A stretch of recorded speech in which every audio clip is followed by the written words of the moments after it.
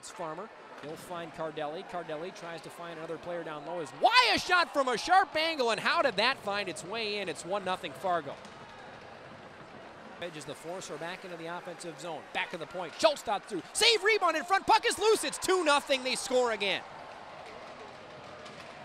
For a fine, near point. Back for Ugbakyle. He'll look. He'll line. Tipped in front by Costello. They score! Braden Costello. What a design play. He tips it past Bischel, and the Bucs have cut the Marshall Rafai there.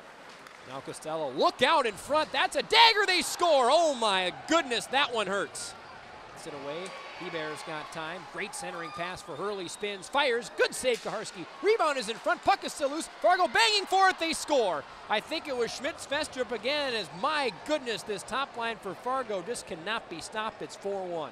His time, finds up top for Hurley. Hurley to the right circle. Great one touch pass across to Hebert. He'll go right to the backside, and that comes off a stick in front, and Nordqvist scores from behind the goal line. Really be not positive about tonight, but the Bucs with a late chance is Dickerson on a chance. Bischel comes out on the back end. What a stop from Bischel! My heavens! You Go this puck getting to the blue line of the Bucs. It's poked in, and the Fargo Force have won their league-leading 12th game of the season.